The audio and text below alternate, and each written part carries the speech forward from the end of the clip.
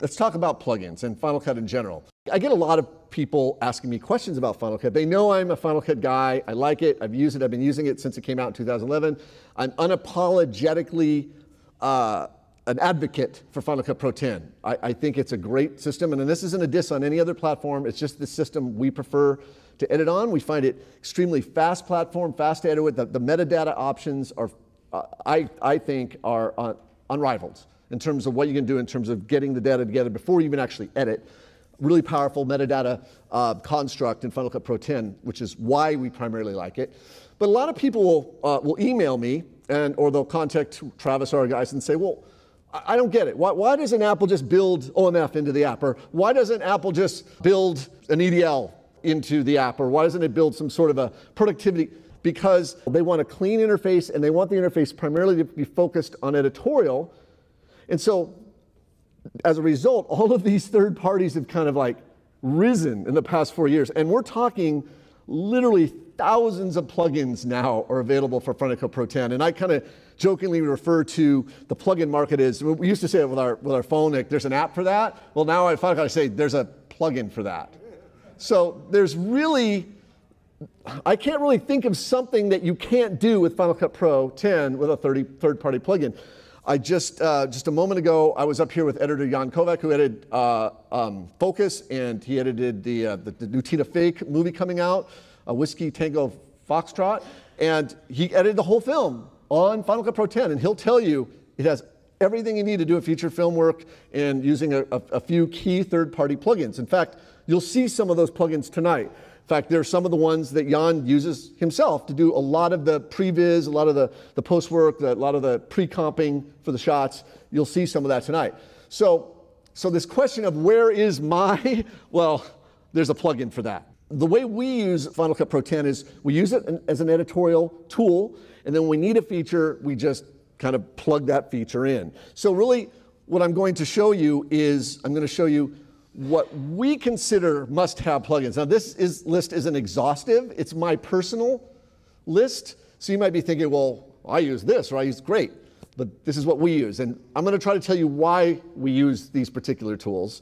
And hopefully along the way, you'll be like, wow, I didn't know it could do that, or that's really cool. And you'll see that these plugins are all very reasonable. Any, they range in price from anywhere from 29 to $100. Uh, and you know, you're just, again, just plugging in all this functionality into this very, very powerful app. So I broke in the plugins down into categories so you can just quickly see what I call fix it and post plugins, color grading plugins, uh, titles and graphics, audio, and productivity. So that's kind of what I want to focus on tonight, just kind of th those categories. So without further ado, I am going to jump into Final Cut because you don't want to see me do a keynote presentation for sure. So I'm in Final Cut Pro 10. One of the things that I really like about Final Cut Pro 10 is you, you hide panes you're not working. It's like Command Control 1 hides a browser, you know, Command uh, 5 hides the event. And I tend to like to work like this because it keeps a really clean interface and it just keeps me focused on what I want to work on, which is the picture. I don't, don't need to see all those other windows when I want them. I call it progressive disclosure. Command Control 1 reveals that pane, and then when I don't want to see it, I close it up. Progressive disclosure. So, so here's, um, the last guest was talking about a spec commercial and he did and he got a million dollars. Well that's awesome. I you know owc you guys any bought anything from owc they sell hardware. Well they ran a contest over the summer and they wanted to promote their products and they put out a bid to do a commercial. Unfortunately i didn't quite understand the nature of the contest. It was really about how many likes you can get on your face uh, and it's so that, uh, and I really worked hard, and it's like, oh yeah, people liked it, but it, there wasn't like an impartial panel. And anyway, that said, I shot this commercial, and it's basically a, a, this kid. It's only 30 seconds, so I might as well show it to you because I'll. I had this one little uh, thing that I used a plugin for. So let me let me just play it for you.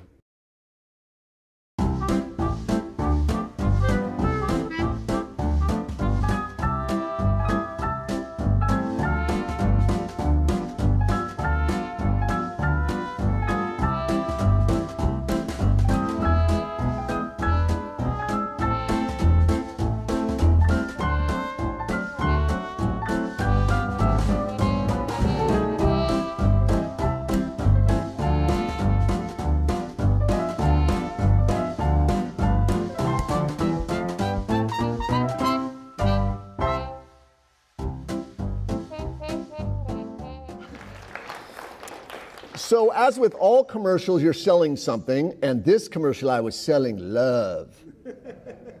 right? Buy this drive, get the girl. Right? That's really what the commercial was about. Now, as you can see here, he's excited about his thing that he filmed with his GoPro camera, and he wants to impress a girl, and he's showing her on his iPad. But of course, I need a replacement screen there, and this is where the first plugin came to be. And this is a great plugin. It's a company called CoreMelt, and you may have heard of it. Um, it's a product called TrackX. And what I'm going to do is I'm going to open up the generators, and here it is, TrackX.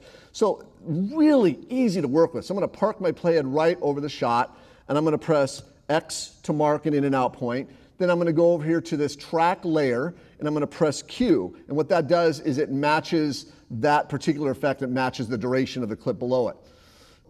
I'm going to go ahead and select the track layer, and I'm going to go ahead and move this out of the way. And you have some instructions here about what to do. Basically, you want to create a shape for tracking. So what I'm going to do is go ahead and click, click here, and I'm just, I'm just going to go, actually, let me do this real quick. All right, so I typically, when I use this, because I know I'm going to be tracking this forward, I'm going to go ahead and move this playhead right to the beginning. I'm going to start right here. And notice you have a bunch of shapes. You have, you know, some rectangles and you have some polygons and some free shape tools. I like this tool a lot for creating masks because a lot of times you have kind of parallel lines or easy. Uh, you're just going to drag along here and I'm going to follow the shape of this um, iPad screen. Just going to head and do this and then I'm going to close up the mask. All right, now I'm also going to zoom in just so you can see a little bit better um, what I'm doing here. All right, and the reason I'm going to do that is because now I'm going to just make some finessing to this mask. I'm going to just grab that green dot. I'm just going to go ahead and line it with the edge. This is a planar tracker. It's going to track this surface using kind of the pixel. It's looking at the contrast between the screen and, uh, and the bezel there. And all I really need to do is track it. And I'm just going to go ahead and click this little track forward button here and just click that. Okay, so it's tracking it there. And it's all determined on the speed of your CPU, how fast it will be. I'll go ahead and just play that. There it is. There's, there it is. And now I want, want to replace the screen. So I'm going to click this surface button. And you can see there, that's kind of a temporary, like a placeholder image. I'm going to press Command 4 to open the inspector, and you'll notice there's an image well. That's where I'm going to drop my replacement image. Command Control 1 to reveal the browser. And the, the image I want is over here, this, this helmet cam image. I'm to use that. So, and the reason is, is I, I shot, I, I shot a downhill race and then I sped it up. So it's really kind of his point of view, because remember he had that helmet, that GoPro camera mount, mounted to his helmet there. So I'm going to select this track layer. I'm going to go ahead and select this well. It's going to ask me what image I want to use. I'm going to go ahead and skim to the frame I want to start on. The, skimmer will determine where the, the image starts. I'm going to go ahead and click, and then I'm going to click Apply Clip. And as soon as I do that, let me go ahead and Command Control 1, close that. I'm going to go ahead and do a fit, and do a fit, um, fit to window and we'll go ahead and uh, take a look at this. And then I, try, I wanted to show you how fast it is to work with this plugin. So, so there it is. I mean, it's, that's, and there, you know, and tracks are there, and you can make the adjustments. The idea is you can do screen replacements really, really quickly uh, with TrackX, right? So uh, I believe that plugin by itself is 100 bucks, okay, from CoreMelt. Um, let me show you quickly another use for the tra tracking plugin. I'm, I'm going to go to projects and I'm going to show you another instance of, of a, a, tracking thing here. I mentioned earlier that I'd like to do a lot of underwater photography, and it's a lot, a lot of fun. It's kind of a hobby of mine. So I have all this stuff that was shot in the Caribbean, and I don't know if you could see it or not, but right here, you see that little, I guess, that little piece of schmutz right there? Okay, that that was me not cleaning the inside of my dome port of my camera. So yeah, exactly. So really, uh, that is just really there, and you could, you know, maybe not see, it, but it's, it's just right in my face, and I wake up at two in the morning thinking about it, kind of thing, right? So I have a great plugin. There's another great plugin for this. Um, like I said, there's a plugin for that. Um, I go back uh, to effects, and you'll notice, let's see here, um, there's a plugin called Slice X, and there's a number of different different options here. The one that I used here is called Object Remover. And I already have it pre-applied, so I don't have to kind of go through what I did previously, but you'll notice I have it turned off right now. I'm gonna go ahead and turn it on. Now watch, watch that little piece of whatever junk there. I'm gonna go ahead and click the object and turn it on, and it's just immediately gonna go away. What it does is it samples a pixel, you pick an offset, and it'll sample the pixels, and you can change the offset, and you're, I'm actually taking you know, pixels from this area to cover that little area there. And that's all I did, and I tracked it using the same method I showed you before, which was uh, just using this little track, tracking button. So now I'll go ahead and, uh, and I'll go ahead and play it for you so you can see that pretty much saved my bacon on this. There, it's just gone. And, uh, and just distract it. Ah, I can sleep at night again. right. So that was my, uh, both of those plugins, SliceX, TrackX, you can get them from CoreMelt for about 200, but I think we're running a special. I just saw it on the web. It's for 149 for both of them. I think it's a must-have for Final Cut Pro 10. All right, so um, I'm going to show you some color grading, uh, useful, useful color grading options that you're going to want. All right, so I've got this timeline open. Command 4, close that up. The first one I want to talk about is this $29 utility called LUT utility. Of course, LUT stands for Lookup lookup table, right? And look, the short answer, the short description is you've got these cameras like the Canon C100 or even a, you know, Blackmagic has all this dynamic range and, you know, televisions can't display all that dynamic range. So these really smart people have to come and write these algorithms to take all that data and squish it into a smaller space, right? And that's where you get the flat look, right? So this is shot flat. This, this was shot with a C100 Mark II, that camera right there, and it was shot uh, flat uh, when they, called Canon Cinema Profile. But a lot of times you don't want to work with it flat. You want to apply a LUT so it looks more natural, like in what they call Rec 709. It looks like more pleasing colors. And how do you apply a LUT in Final Cut? So we're going to look at this LUT utility. It's really great. So I'm going to go down to, let's see, color. And see, no, actually, LUT utility, because when you install it, there it is. So I'm going to grab this LUT utility, and I'm just going to drop it right on the clip, and I'm going to press Command 4 and open up the inspector. And notice it says apply LUT. Right now there is no LUT applied. You can see that. No LUT applied. But I'm going to apply a LUT, and there's all, there's all kinds of built-in LUTs. Here it is, Canon log to Rec 709. So I just select it, and boom, just like that, it applies the LUT. 29 bucks has all these LUTs built into it. And then that, that looks a little heavy-handed to me in terms of contrast, which you can then mix down by using this little slider here. You can just drag this and kind of mix mix, you know, how much of the, the LUT you want in the image, which is really handy. Uh, let's do another example. I'm going to jump down to this. This was shot by my friend Abba, and uh, this is a Blackmagic cinema camera. I'm going to go ahead and apply the LUT there. And this time you'll see that this one is like Blackmagic film to Rec 709. And just like, oops, yeah, you can, yeah, there you can see, you can, there we go. Instantly, you get a good looking image by playing these LUTs. So $29 utility is really great. Now, let me show you some fun stuff that I think it's really great. One thing to bug me, I don't want to sit there and have to apply a bunch of LUTs one at a time. And you can't, in Final Cut, you can't select a bunch of clips and apply a LUT to like you can in Resolve. So I have a really, really useful thing you want to know. So let's say, for whatever reason, I like this LUT applied. Final Cut allows you to save an effect preset and then name it and put it in whatever category you want. And in, fact, I've already done that, so I'm not going to do it again, but I can name this LUT, you know, Canon 709, what have you, and I can store it in a custom category or what have you. I already created it, so in fact, let me go ahead and uh, remove this LUT. And I'm going to, I know these, these clips are the same right here, so I'm going to select them both and just drag this Canon log, and then I can just you know, drag them on there or double click. But here's what's new. Uh, Apple came out with a recent update, 10.2.3, right? And one of the things they've added was this ability to add a shortcut. Right now it says add color correction. Option E will quickly add a color correction to your clip without you having to select the clip or without you having to take any action by dragging that a particular filter onto the clip. So check it out. All you have to do now is, let's say I wanted to turn this into a LUT that I plan on using all the time, control click, make default video effect. This is new. And so now um, you could just select both of those and then uh, you could use option E or whatever. There it is. Look, add Canon log to 709. It's right there as a shortcut now. Boom, there it is. So you can then select 20, 30, 40, 50 clips, boom, apply your LUT, you're ready to go. It's, uh, it's a pretty fast way to work.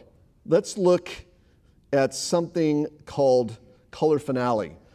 This is a same company, Color Grading Central, $100 plugin, and it includes LUT utility, but it has so much more. I'm going to click over here, and I'm just going to drag this on top of the clip, and I'm going to go back to the inspector, and you'll notice it says Color Finale. It shows up here, and I'm going to click Open. Now, the great thing about Color Finale is it has a built-in UI. So here's the UI, and it's like it's it's empty or blank at first. And the first thing you're going to like about it, and this is why this is to me a must-have plugin, curves. So you got to have the curves. Um, I know Final, uh, Premiere has really great curves with their Lumetri, Lumetri, potato to potato. Uh, curves are really important. In this case, what I want to do is maybe just kind of create a nice little S curve and maybe you know bring down the shadows a little bit and then uh, you know punch up the highlights. Just this is fairly common kind of a thing that you would do with a uh, with a curve. And I'm not going to mess with these right here. I'm just going to do a simple S curve for luminance. And now I want to add, you know, I want to work with the uh, the lift, gamma, and gain controls. So I'm going to go ahead and add these color wheels. So I've added color wheels here, and you can see I have lift, lift gamma, and gain here. And uh, maybe I want to do is I want to push, you know, he's looking kind of depressed. You know, who knows what happened? There's, he's, you know, there's no girl there. Yeah, he said, yeah, he said, yes. it's a Boulevard of Broken Dreams. And so he's, he's not happy in La La Land. So what I want to do is I want to move the color so I'm to just, I'm to work on the highlights here. So I'm just going to grab this little puck here and I'm just going to kind of move this. Um, it's, the thing is, is that it's, look, if you like color wheels, you're to, you're to really love this. Going to cool down the image here and then maybe I'll bunch up the sat, you know, move up the sat a little bit and then we can kind of see. Um, what's really nice is you can check these boxes. So you can do a kind of a before and after with these little boxes here, the color wheels, you can kind of see what you're, what you're doing to the images. Uh, I, actually think it's a very good idea to grade with scopes. You can see when I did push the gain blue, uh, I've got the parade scope open here. You can see I'm adding a lot more uh, blue to the image here. Um, added some saturation, and I can keep going here, but I, I want to reserve some of the other ones here for something else. I'm going to go ahead and close this for now. Nice thing is you can save this as an effect, just like before I showed you with the LUT.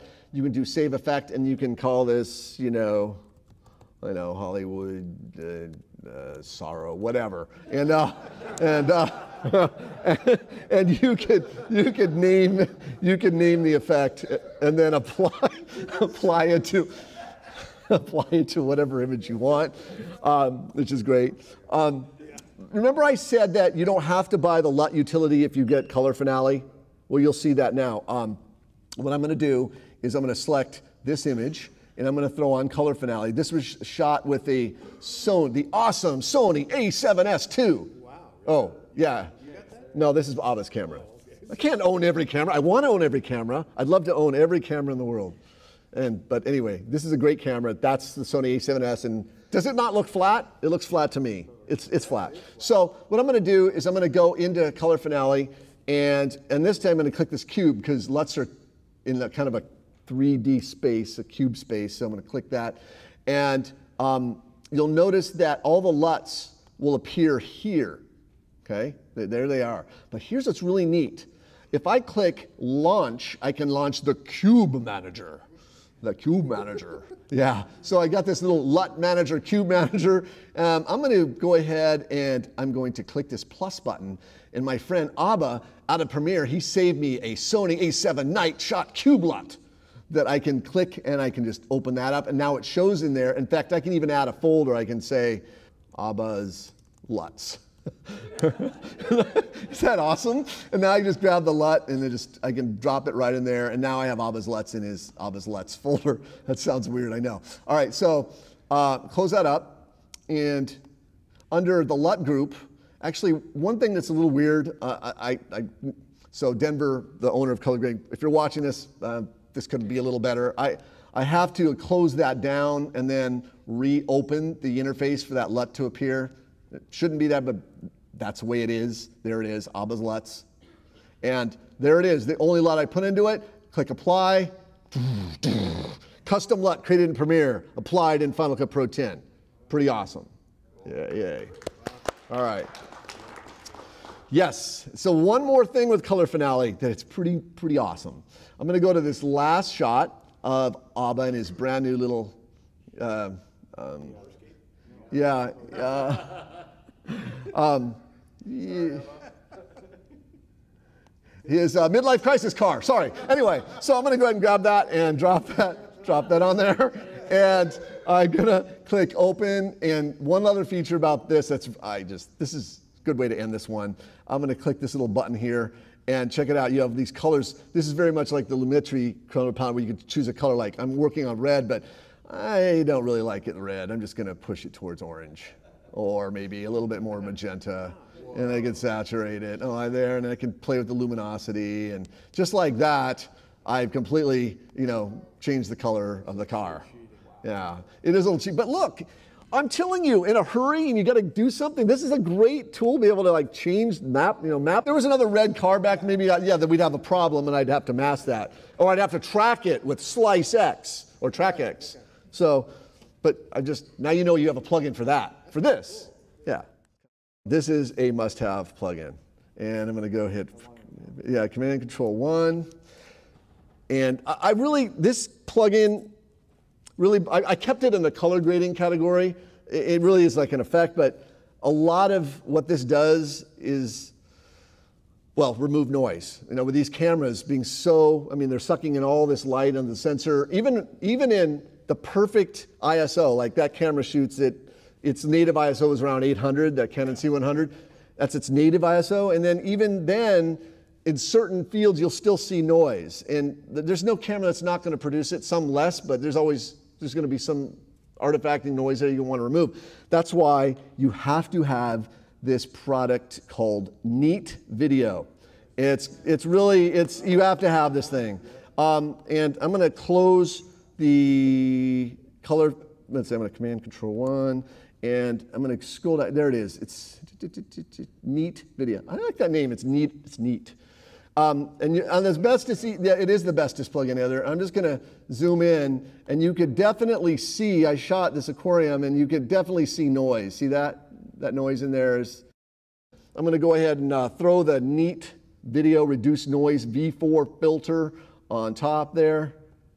And really the way the plugin works, it, it, works on, it works at spatial, it, it works interframe the space, look, it's analyzing pixels, it's lo looking at areas of the frame that don't have a lot of detail. Uh, like in this case, it's specifically looking for areas here where there's the back of the camera where there's blue, there's nothing there.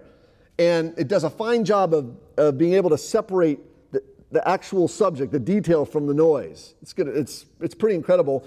And then it also is, uh, it's temporal compression, so it's always comparing one frame to other frames to give the best possible uh, noise reduction. And so to just to open this, I'm just going to click open. It has its own interface. It's going to go ahead and just uh, pop this thing open. There it is. And so there it is. There's the frame that I'm working on. Now, if you want it to work right out of the box, you really need it to create what's called a profile. It's going to create a noise profile for this frame. And one of the neat things about this is if you're shooting with the same camera, you could save that profile because that camera has a noise profile. Depending on the ISO and the, uh, the, the, um, the f-stop things you're shooting, you can apply, you can have a saved profile for a given camera. So in this case, I'm gonna just click this auto profile button and see what happens. And it'll say, okay, noise level 4.2 with a quality is saying this sample, this noise sample, 61%, that's a pretty good percentage in terms of quality of the sample for that noise. Now, I could go in here and say, you know what, I don't like 60, maybe I want to expand it out a little bit more, and then uh, auto profile it again. and see if it gets, that's at 61%, not, not much better there. But point is, you can move that box to different areas or not. Just let it do its thing. And then when you're done, you just click apply. And what I'm going to do is click off the plugin for a moment. I'm click off the clip and then click back on and I just kind of refresh the screen. And I'm going to turn the filter off. I just let me see if I can zoom in here. So, yeah. So I'm going to. I don't know if I'm going to go ahead and. Okay. You guys see that? See the noise? Okay. Now you should be able to. Now I'm going to go ahead and turn it on. Yeah. You. You. I mean, you could. It, it's. It's pretty dramatic. I mean. There you go. See, that's that's what the the filter on. And it holds the detail it's a, it's a must-have filter. It's you just one of those ones that are really got to have in your toolbox, especially if you're doing with shooting with a lot of different digital cameras. All right, let's move on. I, again, I don't. I wish I could camp on any one really for a long time, but can't.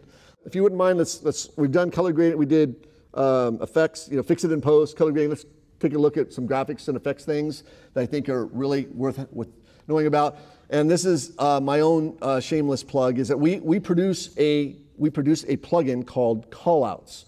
And what callouts do is they allow you to highlight things in the frame, make, you know, magnify things, make lines with like text to come out so you can, you can do things like, you know, freeze the image and then, you know, have the text come on and then, yeah, and you can do things like, you know, really make like a bouncing bouncing arrow, 3D arrows, and then you could do things like, uh, in, this, in this case, you know, really nice little interface. We could just move this around. You could uh, you drag this little ball. You can point the little arrow where you want it to. You could change the emoji that's in the center. You can go ahead and you can change the color. I mean, there are so many controls uh, for these these callouts.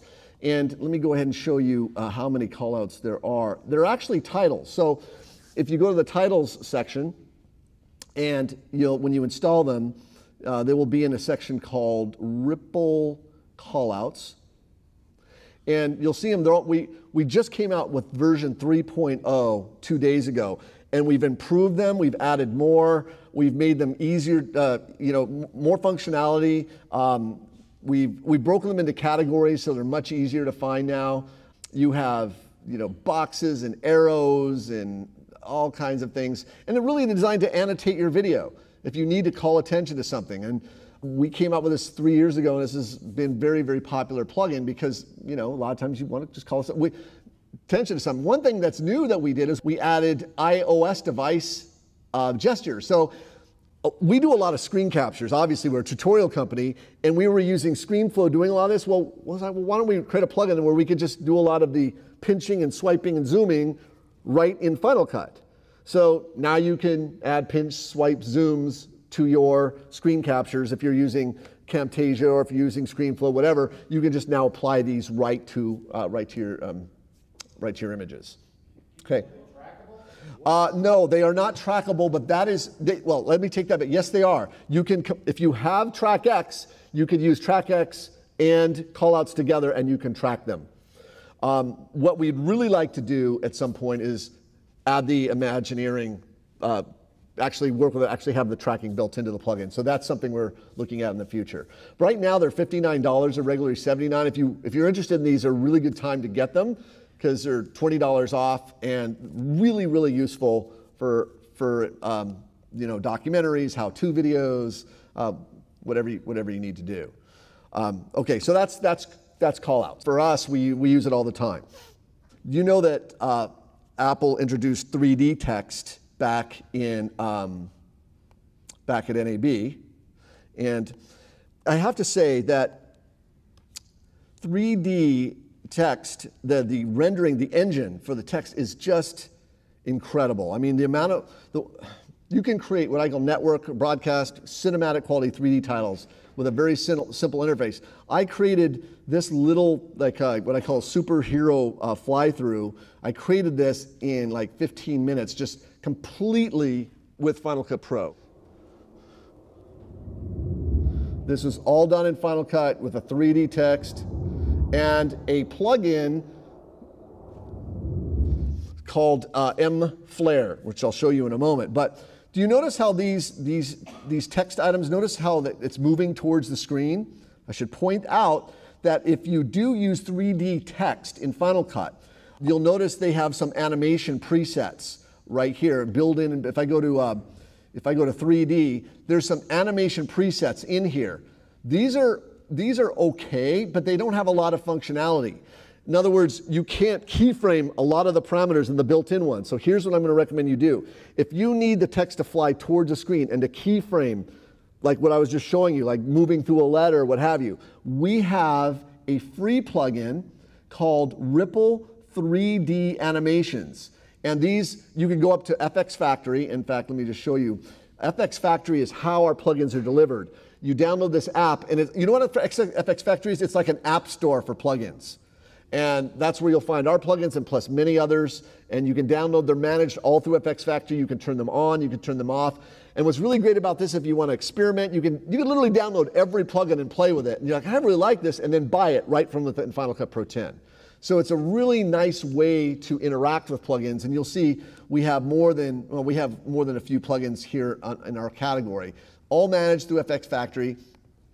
So what I'm saying is the Ripple 3D animations, it's free. So you just go up to FX Factory, download them, and then you'll be able to do things like keyframe and work in, in true, you know, 3D uh, Z space, XYZ. You'll have a lot more functionality.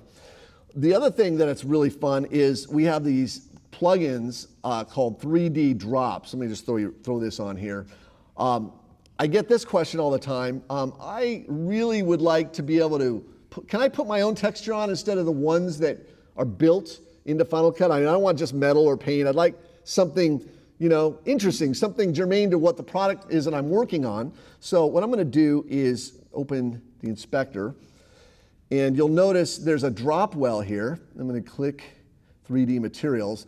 Now, just for fun, what I did was um, I, at the, during the break or just before the break, I, I went out and I, I, say, I took some shots with my iPhone. Like there's the, there's the wall outside by the bathroom there. And I've just selected my phone and it's, there it is. I'm going to go ahead and apply that to the, no, so I've applied that texture from the bathroom and it's perfectly like, it's just freaking amazing.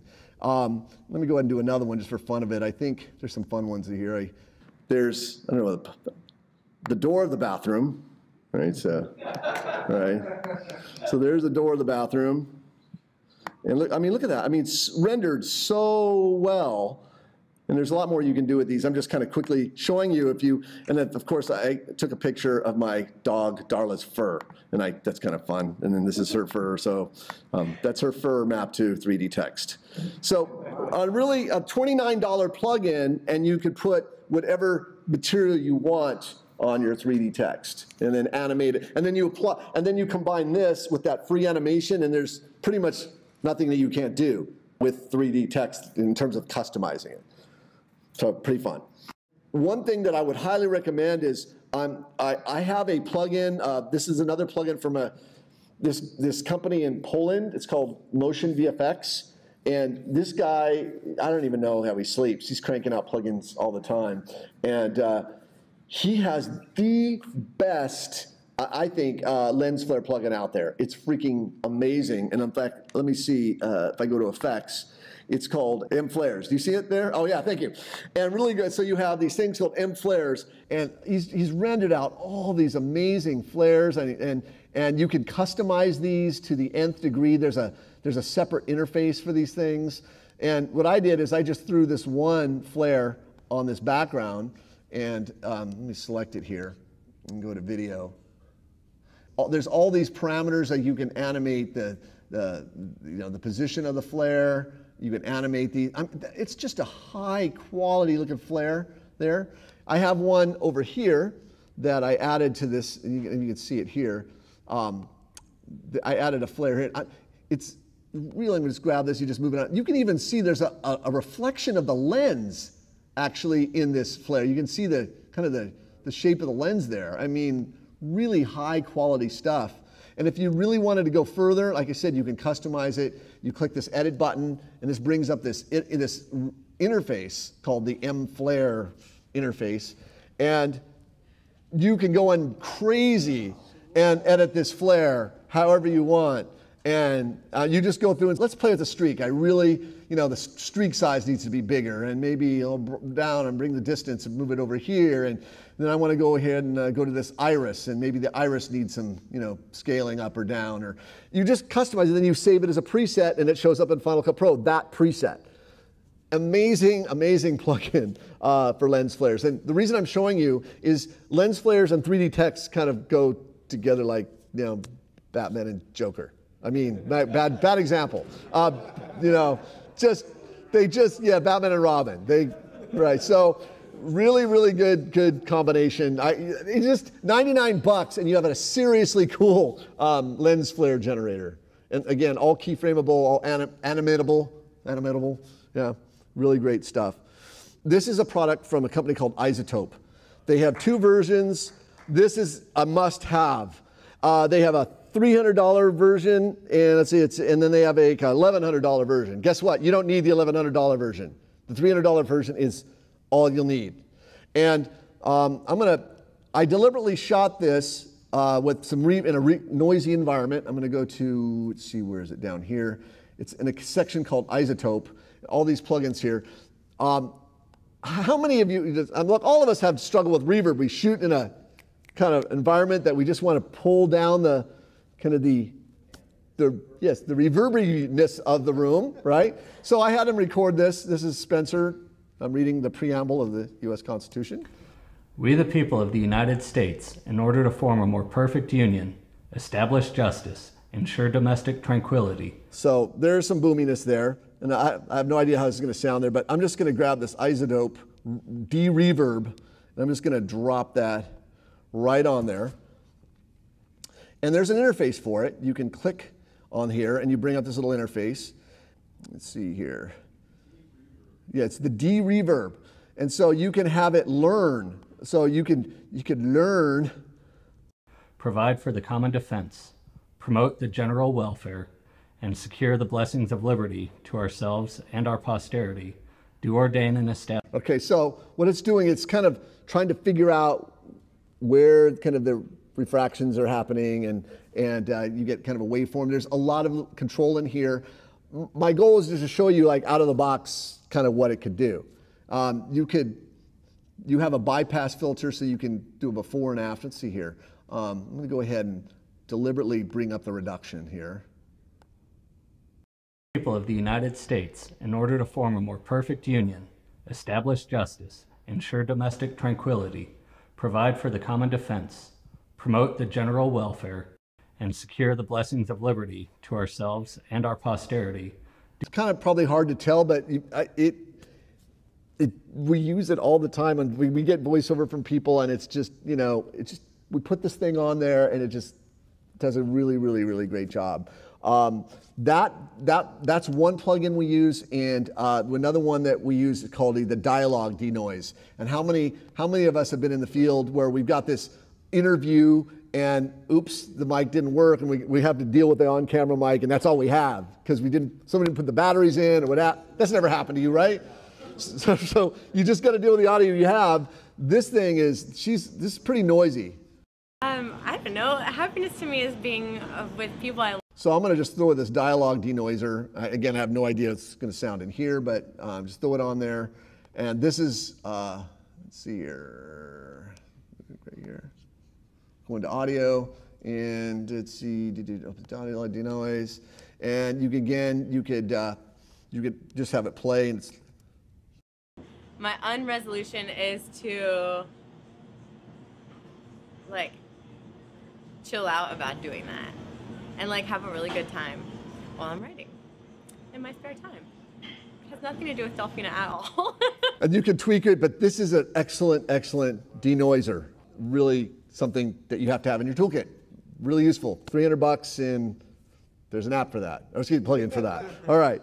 Um, the last thing I want to show you is I want to, is I want to show you something from Intelligent Assistance um, called Producer's Best Friend, and it's our friend Philip up there really, really useful, um, useful little utility. I said utilities are useful in that like have a bunch of mark. Notice I have a bunch of markers here. A producer needs some notes.